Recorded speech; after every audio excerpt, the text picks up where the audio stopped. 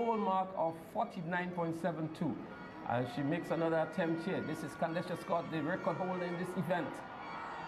As the crowd goes up again, she has another throw above the record event if the tape is correctly positioned here. That's the red tape, which indicates the record. So two consecutive throws above the record. Candesha yeah. Scott continues to do well.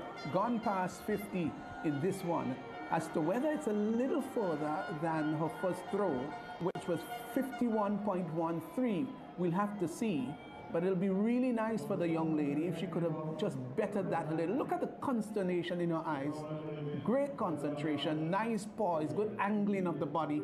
The release was almost perfect.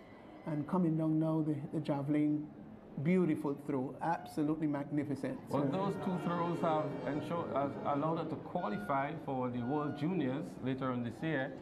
And I'm sure Grenada will be fielding a team for that particular event, and she should obviously be one of the competitors for Grenada. Candesha Scott